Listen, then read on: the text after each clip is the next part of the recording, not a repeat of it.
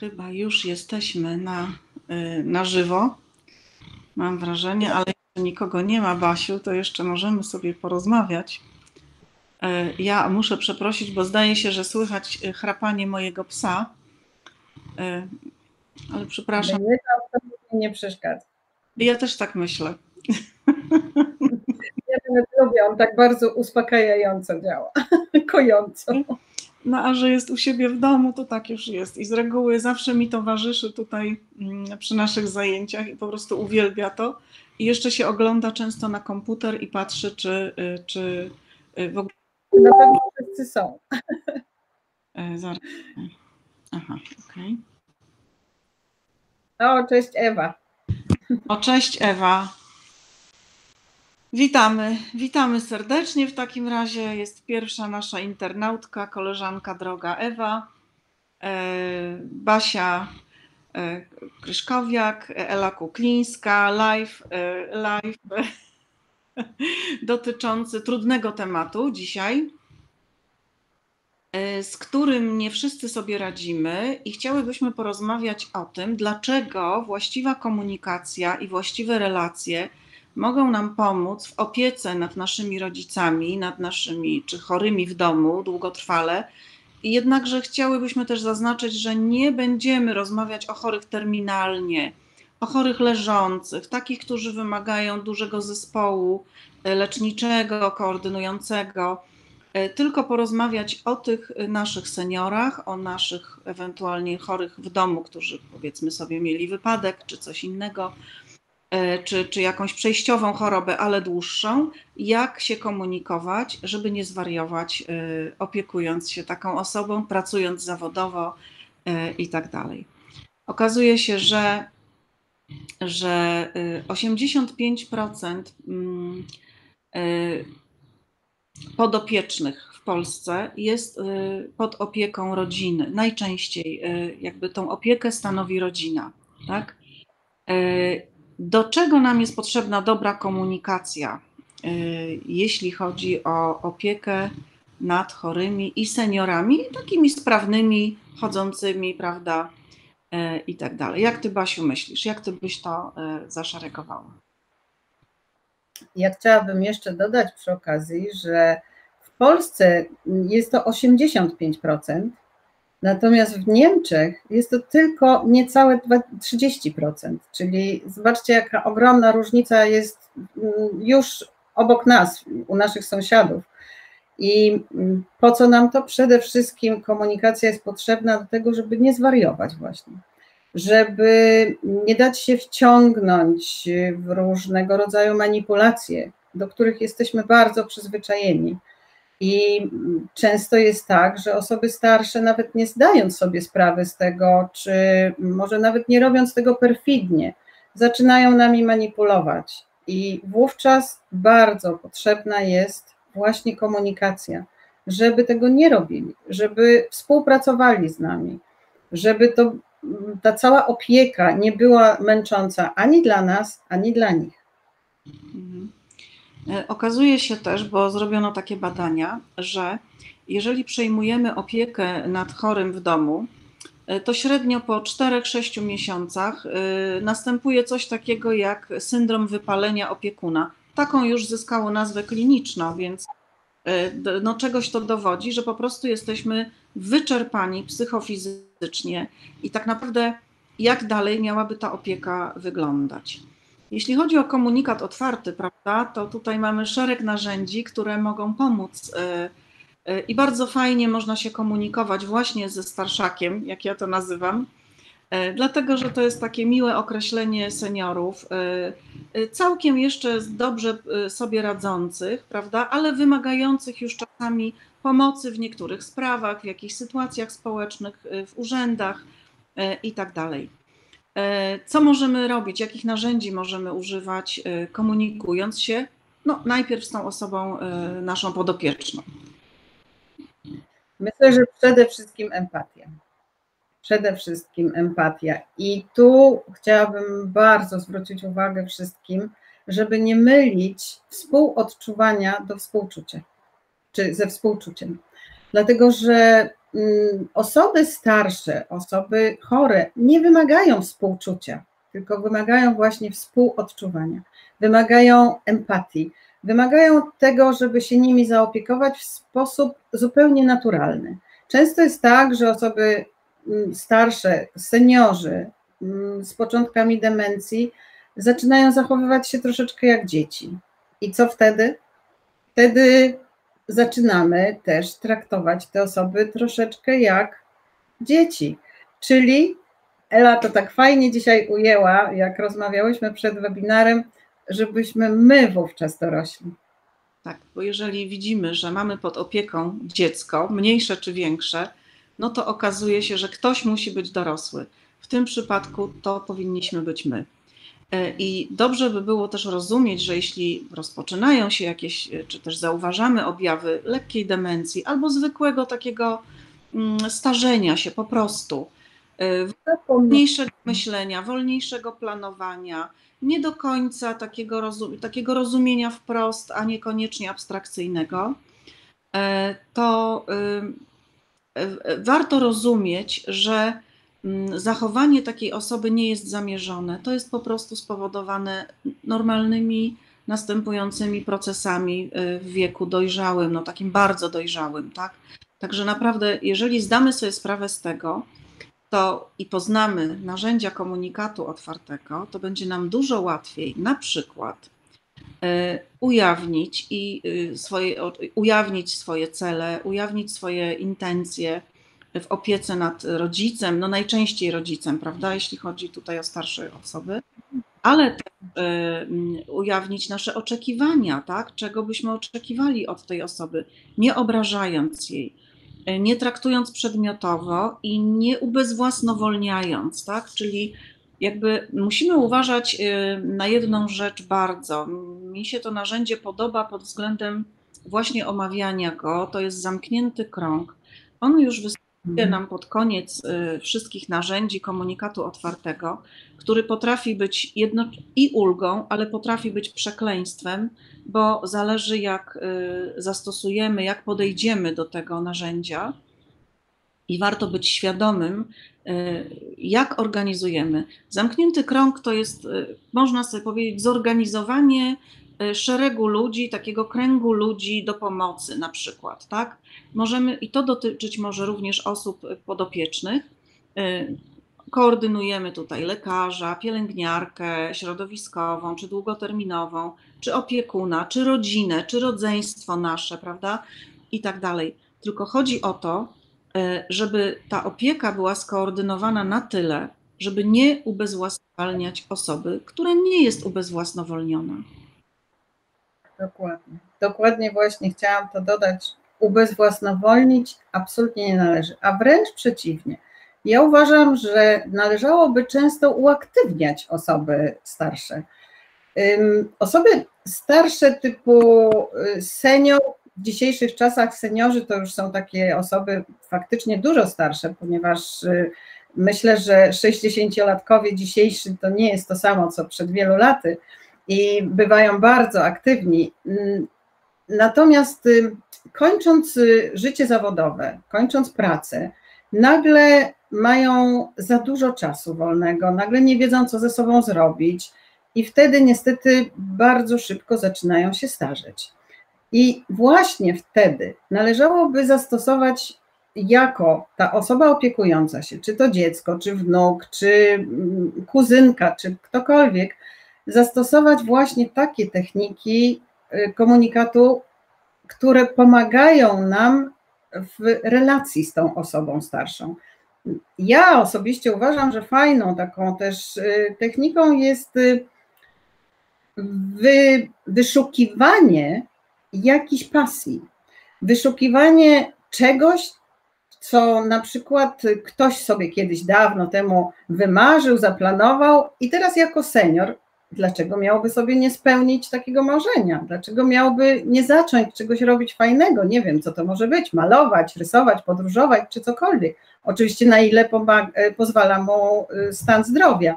Natomiast właśnie wspierać osobę starszą w tym, żeby była aktywna, aktywna zarówno fizycznie, jak i umysłowo, żeby się nie starzała. Jednocześnie I tu aktywne słuchanie jest po prostu idealne. Empatia i empatia. Aktywne słuchanie, I- wyszukiwanie potencjału. Tak. Jest cała masa właśnie takich narzędzi, które pomagają w tej komunikacji, w tej relacji. Prospekcja, tam gdzie y, starsza osoba może już nie dostrzegać jakby sensu przeżytego przez siebie życia, e, próbowała się wycofać zupełnie z życia, więc warto wtedy dostrzegać to, y, co było dobre, to, co zrobiła genialnie, wychowała nas samych tak, jak potrafiła, tak? E, I to jest bardzo cenne. Warto o tym też pamiętać, że żeby nie rozpamiętywać żalu, e, żeby pozbyć się, opiekując się swoim rodzicem, żeby pozbyć się też obciążeń wynikających z jakichś tarć, z jakichś niedomówień, e, ale z jakichś domysłów e, bardzo fałszywych, z jakichś stereotypów nawet, które mm, gdzieś pokutują cały czas w społeczeństwie. Nie wiem dlaczego. Dlatego, że kontakt ze swoim, no najczęściej rodzicem, tak mówmy, powinien być do końca życia po prostu ciepły, pełen szacunku i empatii. Tak mi się wydaje. E, I nie ma sensu tutaj chyba e, jakby rozpamiętywać żalu. Czasu się nie cofnie. E, Jednakże nam samym pomaga przecież e, komunikat otwarty, e, bardzo pomaga właśnie też w zadawaniu pytań, e, w tym, żeby wytłumaczyć takiej starszej osobie, co planujemy, jak zamierzamy to zrobić, e, jak widzimy jego rolę w tym, co chcemy zrobić, prawda? E, Jakiej pomocy oczekujemy niekiedy w pracach domowych, zwyczajnie, jeżeli mieszkamy z taką osobą, prawda, Basiu? To jest po prostu genialne. Ja uważam, że y, im więcej wyznaczymy takich małych, małych drobnych nawet zadań, y, podczas których y, ta osoba starsza będzie czuła się odpowiedzialna, będzie się czuła po prostu potrzebna. Popatrzcie, jak to niewiele potrzeba, żeby ktoś się poczuł potrzebny, a jak bardzo tego brakuje właśnie seniorom, którym wydaje się, no okej, okay, już wychowałem dzieci, wychowałem, pomogłem wychować wnuki, wszyscy już sobie poszli albo zostawili mnie samego, teraz co, co ja mam tutaj jeszcze robić na tym świecie? Jestem niepotrzebny, w związku z tym, co robię? Zaczynam chorować, żeby zwrócić również na siebie uwagę. A po co? A lepiej właśnie zaangażować taką osobę, powiedzieć: O, wiesz, co jesteś mi potrzebny do zrobienia tego czy tamtego. Albo jest jeszcze jedna fajna rzecz. Poprzez aktywne słuchanie możemy również bardzo mocno zachęcić osoby starsze do cudownych opowiadań o swoim życiu, o swojej młodości, o wydarzeniach wesołych, zabawnych. Każdy z nas przeżył kiedyś takie zdarzenia. I myślę, że osoby starsze mogą nam bardzo wiele, bardzo fajnych rzeczy poopowiadać, tylko trzeba je do tego zachęcić. Właśnie poprzez na przykład aktywne słuchanie i zachęcanie do opowiadania o swoich własnych przeżyciach. Nie wyobrażacie sobie, jaki to daje niesamowity efekt. Tak, to prawda. Nawet jeśli czasami koloryzują, lekko konfabulują, mniej czy bardziej, naprawdę warto. warto... To nie robi to tego nie robi.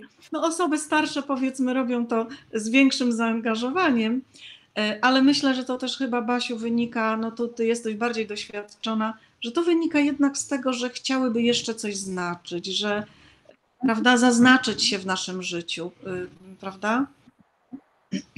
No właśnie to jest to, że one chciałyby jeszcze zaistnieć. Tak.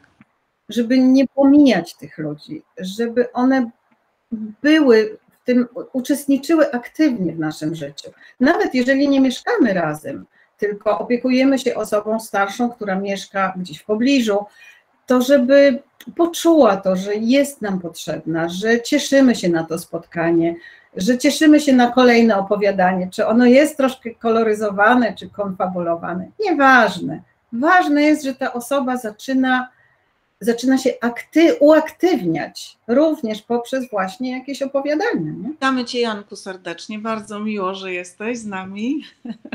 Super fantastycznie.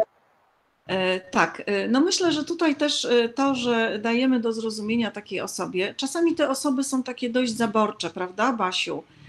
I tutaj myślę, że narzędzia komunikatu otwartego, te już ostatnich dwóch bloków w jego konstrukcji będą znakomicie tutaj regulować i możemy nawigować tymi, y, tymi relacjami naszymi. No, z dużym dzieckiem, co tu dużo mówić. Y, bardzo, bardzo nam pomocne w tym, żeby właśnie nie zatopić się, y, nie dotyczyć tego syndromu wypalenia, tak? Żeby tutaj delikatnie regulować z pełną empatią, z szacunkiem dla tego człowieka. No, bądź co bądź, jednak społeczeństwo się starzeje i dziwnym trafem to jest taki paradoks. Ja zauważyłam, że społeczeństwo, które się starzeje, ludzkość po prostu jest coraz starsza, e, coraz bardziej zdigitalizowana, prawda, skomputeryzowana, relacje zanikają jakkolwiek e, i nagle ta, jakby ta starość po prostu jest wypierana e, ze świadomości, prawda? Ona jest taka, taka demode, taka, taka nie na czasie w ogóle, nieakceptowalna E, prawda? O tym się nie mówi, e, bądź też dla niektórych osób, dla niektórych dzieci, e, no bywa to, że tak powiem, takim dużym obciążeniem, czują się takie osaczone tym, że, że no, muszą, prawda, opiekować się swoimi rodzicami. Ale tutaj chyba warto się pozbyć troszkę takich, myślę, że popracować też nad sobą w tym kierunku, prawda? To jest bardzo ważne. Y, popracować nad sobą i dbać o swój komfort psychiczny również. Tutaj widzę jedną taką uwagę bardzo fajną, że osoby starsze potrafią być bardzo agresywne i mieć do nas żal. Tak. Oczywiście, że to może się zdarzyć, jak najbardziej. Z czego może wynikać taka agresja u osoby starszej?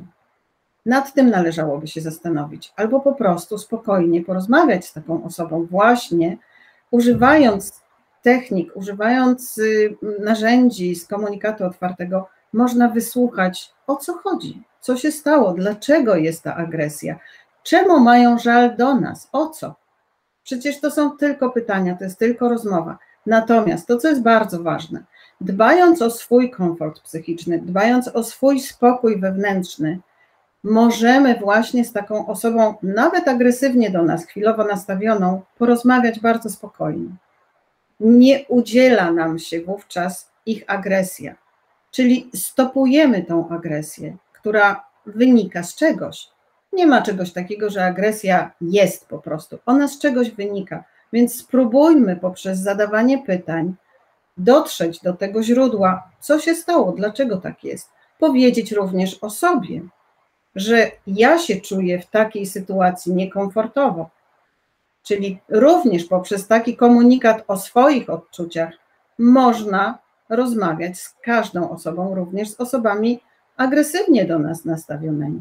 Tak, y, tutaj to jest fajny temat właśnie, dlatego że no, agresja mówi się, tak, jakby tu z doświadczenia pewnie Basia, ja też ze swojej pracy wiem, że agresja bardzo często jest podszyta lękiem. I pamiętajmy o tym, że y, starsze osoby przechodząc na emeryturę, czy też ewidentnie w momencie, kiedy biologicznie widać, że się starzeją, y, że te osoby czują się po prostu mało bezpiecznie. One dużo bezpieczniej zaczynają się czuć właśnie, kiedy zaczynają z nami mieszkać, tak? Y, kiedy jest gdzieś blisko. No, przypomnijmy sobie, jak byliśmy dziećmi małymi i rodzice musieli nas zostawić w domu. Jak my się czuliśmy? Przypomnijcie sobie, kochani, jak bardzo dziecko boi się zostać samo. A my z punktu widzenia osoby dorosłej i bardzo zajętej, e, próbujemy wymusić, tak, wymusić tą samodzielność, tak? takie niezawracanie głowy. No chyba y, nie, też nie tędy droga, tylko należy po prostu być tym wsparciem, prawda? Takim autentycznym wsparciem i dawać poczucie bezpieczeństwa, dawać poczucie azylu, które zresztą jest narzędziem z naszego piątego bloku, prawda? Bardzo pięknym narzędziem e, dawanie, e, dawanie azylu. Także to jest tego. Także myślę tutaj, Marto, że, że chyba udzieliłyśmy odpowiedzi na pytanie. To od nas zależy, jak długo ta agresja będzie trwała. Tutaj osoby, które dołączyły, po prostu nie słyszały. E, jeżeli rozpoczynają się takie objawy demencji, tak jakkolwiek, mniej czy bardziej, to pamiętajmy o jednym: to nie jest celowe i nie jest świadome. to jest, y, to jest po prostu objaw choroby i traktujmy tę osobę wtedy jak chorą. Chociaż dzisiaj chciałyśmy mówić o osobach takich bardziej y, jeszcze aktywnych, świadomych, ale właśnie tam, gdzie zaczyna się ten proces takiego poczucia zapomnienia, prawda? Popatrzcie, ostatnio rozmawiałyśmy też na innym webinarze o osobach chorych. Żal, jaki powstaje u każdej z osób, wynika z czegoś. I agresja jest również wynikiem jakiegoś żalu, bardzo często. Dowiedzmy się od osoby starszej, co się stało, że akurat właśnie ma takie poczucie, a nie inne. Dowiedzmy się, zapytajmy, porozmawiajmy, wysłuchajmy. To jest bardzo ważne. Dla własnego spokoju również. Natomiast to, co mówiłaś, Elu, przed chwilą, myślę, że my, mając dzieci, mając obok siebie osoby starsze, już seniorów, rodziców, jesteśmy czasem tak między młotem a kowadłem, ale właśnie ta dorosłość, o której mówiłaś przed chwilą, jest bardzo istotna, żeby zarówno wychowywać dzieci w odpowiedni sposób, jak i traktować osoby starsze, które w pewnym momencie czasami właśnie zaczynają się zachowywać jak dzieci. I to jest bardzo istotne, żeby wyczuć tą sytuację. Czy ta osoba już ma początki demencji, czy już zaczyna się czuć właśnie niepewnie. Ona poprzez to, że czuje się zagubiona bardzo często, będąc w domu, czy to u nas w domu, czy u siebie w domu, jest na tyle zagubiona, że jest wypełniona lękiem. I ten lęk obraca się w agresję, obraca się w różne sytuacje, które są bardzo niekomfortowe zarówno dla niej, jak i dla nas. I dlatego zastanówmy się czasami, jak to wygląda z tej drugiej strony.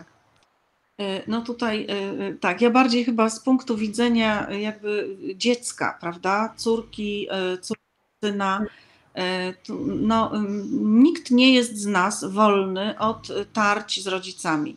No w momencie, kiedy zaczynaliśmy budować swoją tożsamość, mając tam 13 lat, powiedzmy, to na pewno te tarcia były.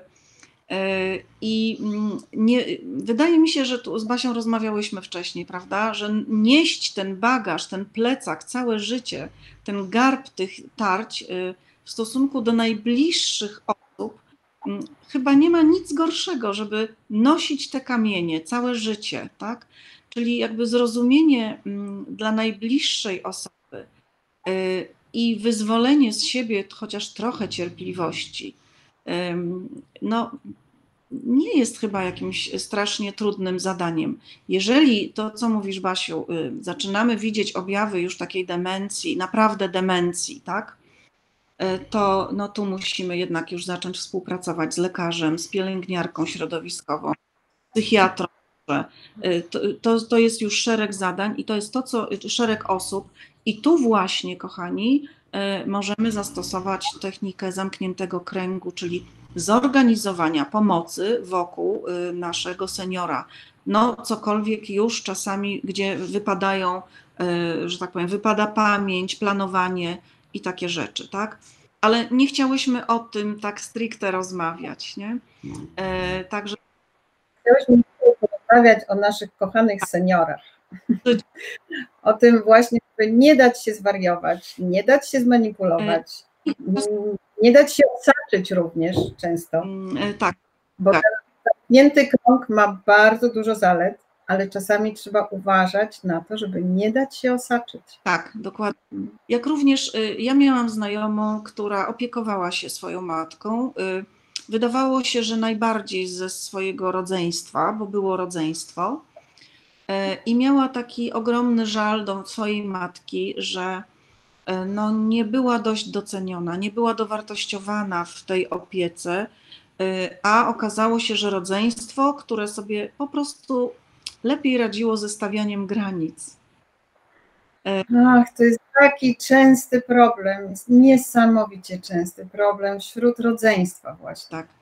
Jedni się opiekują i czują się niedoceniani, drudzy nie robią w zasadzie prawie nic, dają powiedzmy pieniądze i są super cudownymi dziećmi.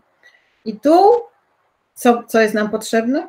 Po raz kolejny komunikat otwarty o tym, żeby porozmawiać z tym rodzeństwem, żeby porozmawiać z tą mamą, żeby te żale wszystkie wyrzucić na stół i porozmawiać o nich po prostu.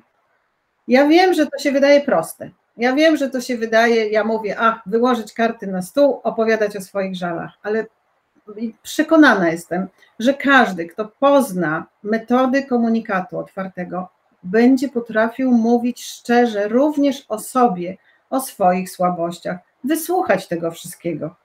I to jest ważne, żeby z taką siostrą, bratem porozmawiać również zupełnie szczerze na temat opieki nad starszą mamą, babcią czy kimkolwiek z rodziny. Y, warto tutaj też dodać, że po prostu musimy się pogodzić z tym. Zwyczajnie trzeba przyjąć do wiadomości własnej, że nasze życie też się trochę zmieni, że przyjmiemy więcej obowiązków. To trzeba porozmawiać z własnym współmałżonkiem, z dziećmi, tak? Żeby nas też wspierały i żeby zrozumiały nasze zmęczenie, niekiedy irytację, niekiedy brak cierpliwości, bo to naprawdę robi swoje.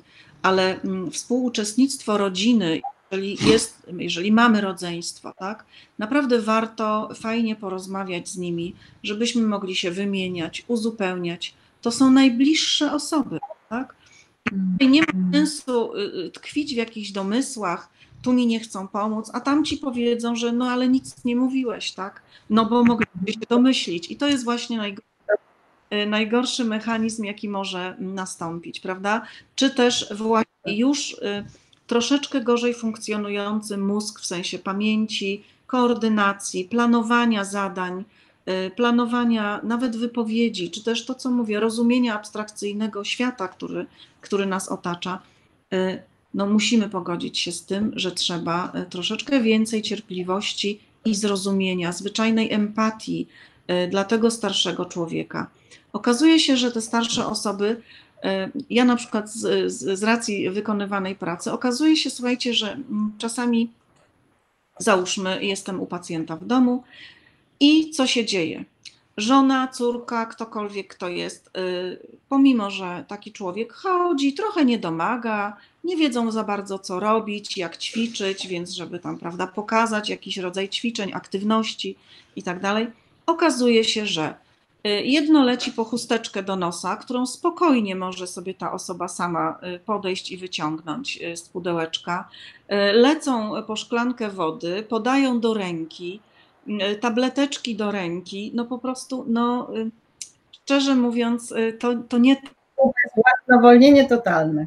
To jest takie pozbawianie wręcz godności i samodzielności takiego człowieka. Czyli jakby pomału wdrażanie go e, w takie zwykłe, codzienne sprawy typu toaleta, jedzenie, siadanie przy stole, e, robienie wielu rzeczy wokół siebie. Czy też, tak jak do naszych dzieci kiedyś mówiliśmy, a może byś poszedł na pływanie, a może byś poszedł, prawda, na lekcję rysunku, to zróbmy to wobec naszych rodziców, tak? A może byś poszła na basen. Są zajęcia, prawda, na brodziku, w ciepłej wodzie dla starszych osób, albo, albo coś tam. Jest szereg też ludzi, z którymi możesz sobie tam porozmawiać. Właśnie chciałam o tym powiedzieć, że czasami jest tak, że pozostaje tylko jedna osoba jako senior w naszym wielopokoleniowym domu i zaczyna czuć taką, czuje się odizolowana od, od świata, czuje taką samotność wręcz w środku, bo nie ma kontaktu ze swoimi rówieśnikami, czy, czy z kimś, z kim mogłaby porozmawiać też tak na swoim poziomie wiekowym troszeczkę. I tu na przykład to, co ja wiem ze środowiska, powiedzmy, mojej mamy, że umawiają się na wspólne podróże, że umawiają się na y, Uniwersytet Trzeciego Wieku, to się nazywa bodajże, tak? To są wspaniałe chwile, gdzie osoba, którą ja znam osobiście, mm, pani, która ma w tej chwili już 85 lat, poszła sobie trzy lata temu na taki uniwersytet uczyć się języka obcego, tak po prostu. I była szczęśliwa, bo poznała tam mnóstwo innych osób. Czyli te osoby starsze nie muszą koniecznie siedzieć w domu i za przeproszeniem czekać na śmierć, tylko właśnie mogą aktywnie brać udział w wielu różnych, różnych przedsięwzięciach. A podróżowanie jest cudowne. Ja, będąc mm, w wielu różnych zakątkach świata, widziałam bardzo dużo zorganizowanych wycieczek właśnie dla osób starszych. I to jest dla nich, jest to bardzo fajne. Mają przy sobie opiekunów, mają przy sobie również swoich rówieśników i mogą również poznawać coś nowego. A potem przyjadą do domu i będą nam opowiadać mnóstwo różnych swoich własnych przeżyć. Dokładnie tak. Y, jeszcze chciałam powiedzieć, Basiu, a propos Uniwersytetu Trzeciego Wieku, to z tego, co w, to w miastach, gdzie on się y, organizuje, gdzie jest zorganizowany, no mhm. organizuje się już wiele grup, ponieważ okazuje się, że nie ma miejsca już wolnego. Starszaki doskonale sobie radzą z zapisywaniem się do Uniwersytetu Trzeciego Wieku. Y, Gosia nam tu napisała. Tak, oczywiście, Gosiu. No, no, komunikat naprawdę daje ogromną taką lekkość organizowania tego.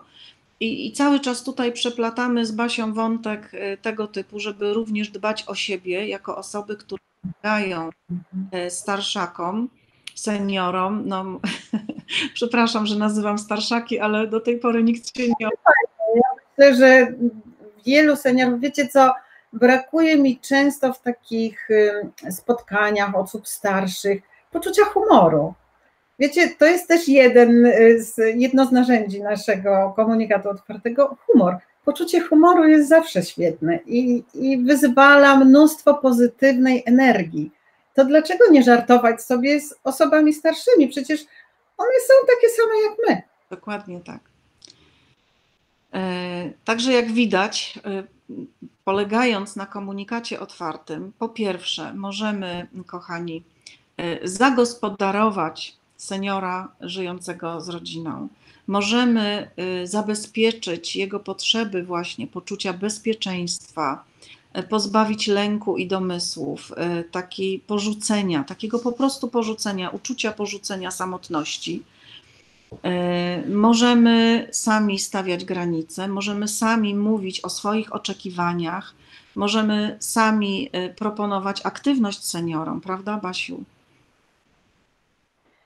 I przede wszystkim pamiętajmy również o sobie, o swoim stanie, zarówno fizycznym, jak i psychicznym.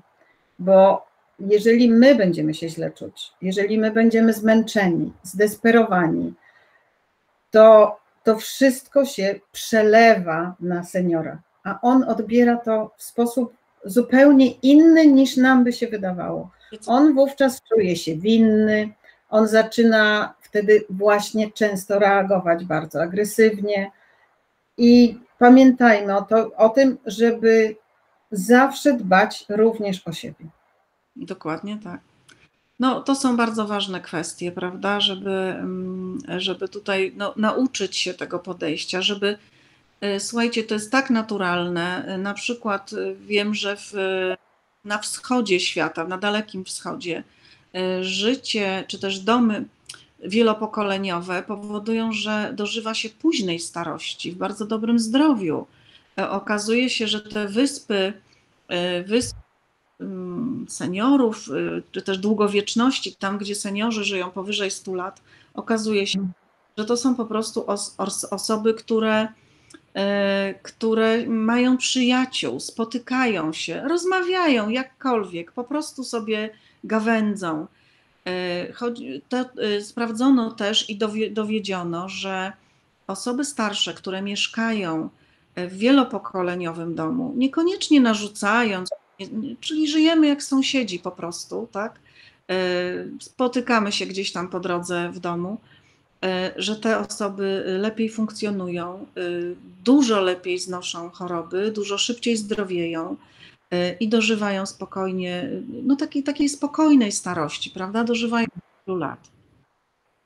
Dokładnie. Tu Ewa zwróciła uwagę, widzę na to, że żeby starszakom również pokazać, jak działa komunikat otwarty. Super. Tak. Tylko właśnie to musi wyjść od osoby opiekującej się taką osobą starszą. Czyli taka osoba opiekująca się powinna bardzo świadomie zdawać sobie sprawę z tego, jak działa ten komunikat otwarty, żeby móc wytłumaczyć właśnie takiej osobie starszej, co może również y, mm, użyć w rozmowie ze mną, czy w rozmowie ze swoimi kolegami, koleżankami na tym uniwersytecie również. Nie? Dokładnie, Mhm. ale też e, pamiętajmy o jednym. e, Dzieci uczą się szybko, w związku z tym starszaki też uczą się szybko i naprawdę jeśli my będziemy z nimi dbać o relacje z nimi w komunikacie otwartym, będziemy nawigować, zarządzać tymi relacjami, pielęgnować po prostu z taką czułością, bo to są nasi, najczęściej nasi rodzice po prostu, tak? E, Więc e, jeżeli będziemy to robić, to oni błyskawicznie też wejdą w rezonans i naprawdę stare powiedzenie, kto z kim przestaje, takim się staje, tu się sprawdza w zupełności. E, Uwierzcie mi, że tak jest. Ja jeszcze dążyłam do tego, że właśnie często jest tak, że ja z racji zawodu mm, zaczynam być takim powiernikiem, tak, że gdzieś te relacje rodzinne są kompletnie zaburzone, Ciężko jest no tak udzielać dobrych rad, ale myślę, że tutaj właśnie komunikat przy od- odrobinie dobrej woli wszystkim e, pomógłby e, te relacje po prostu utrzymać należ- w należytym porządku, e, w takim rodziny po prostu, tam gdzie każdy też może się realizować zawodowo. Tak mi się. Mhm. Oczywiście, każdemu zawsze na każdym kroku przydaje się mm, rozmowa, relacja, wszystko, co dotyczy właśnie komunikacji. Mhm. Tak. E, Chyba już nie mamy tutaj więcej pytań. E, Były tak właśnie pytania o tą, e, o tą irytację, o to, że tracimy cierpliwość przy agresji, prawda? Bo ja myślę, że wśród osób starszych chyba to jest największy problem, że mm, no ponieważ one czują się niepotrzebne, czują się niepełnosprawne często fizycznie już i czują się jakby były obciążeniem dla nas, wówczas to wszystko może się zamienić w, w jakąś agresję wobec nas. A tak naprawdę to nie jest wobec nas ta agresja, tylko wobec sytuacji. I to, co jest też najważniejsze, to o czym Ela mówiłaś, myślę, że każdy z nas powinien pamiętać o tym, że żal do, do niczego dobrego nigdy nie prowadzi. Że te wszystkie sytuacje, które były niefortunne, złe, nieprzyjemne, między osobą opiekującą się, czyli między nami a, a naszym seniorem, powinniśmy po prostu przepracować, zapomnieć i pamiętać tylko o tym, co było fajne i o tym, jak pozytywnie wpłynął na nas właśnie nasz kochany senior. I z tą miłością i z tym uczuciem podejść do niego, a nie z żalem, absolutnie.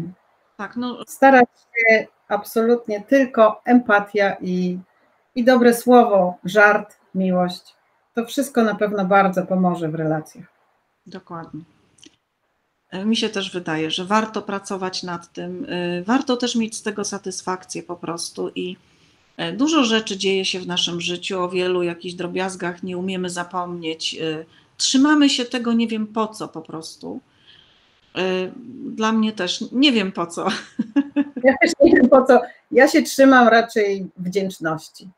Jest to bardzo fajne uczucie. Uczucie wdzięczności bardzo pomaga, bardzo otwiera i, i scala również. Pamiętajmy o jednym, że my też nie wychowamy dzieci idealnie. I pamiętajmy o jednym, że jabłko pada niedaleko od jabłoni. Więc my nie różnimy się za bardzo, przepraszam, od naszych rodziców. I nas również to kiedy może czekać, że będziemy wymagać opieki. Aczkolwiek życzę wszystkim, żeby byli sprawni fizycznie i umysłowo do samego końca. Dzień dobry. Dziękuję bardzo. Przepraszam. Ale e, stałym głosem. Także przepraszam bardzo. Wszystkim życzymy cudownej opieki. I w razie pytań, oczywiście dotyczących, w jaki sposób poradzić sobie w danej sytuacji, bardzo prosimy o pytania. Dokładnie tak. Żegnamy Was serdecznie, życzymy dobrego wieczoru, do przemyślenia. Y, Możecie zadawać wszelkie pytania, dlatego że mamy naprawdę spore doświadczenie zawodowe, jeśli chodzi właśnie o pracę z rodzinami y, i ze starszakami. Pozdrawiamy serdecznie. Pozdrawiamy serdecznie. I Tobie, Elu, również życzę zdrówka. Dobrze, już przełknęłam, przepraszam najmocniej. Nie ma problemu. Cześć, cześć.